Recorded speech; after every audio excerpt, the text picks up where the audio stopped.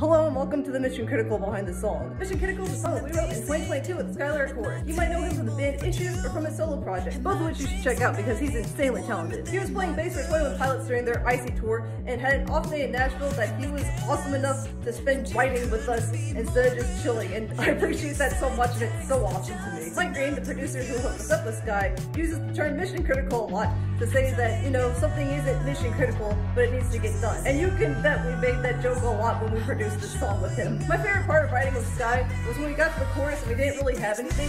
So he's just like, yo, hand me that bass, I'm gonna lay something down. We give it to him and he just starts going bananas on it. Mission Critical is streaming everywhere now. You can check it out from the link in our bio. Let me know in the comments what your Mission Critical is. You have a test coming up, anniversary. By the time you're seeing this, my Mission Critical is probably playing shows with the Hana in the UK. But right now, my Mission Critical is getting ready to go on tour, which is a ton of work, but I'm really excited about it.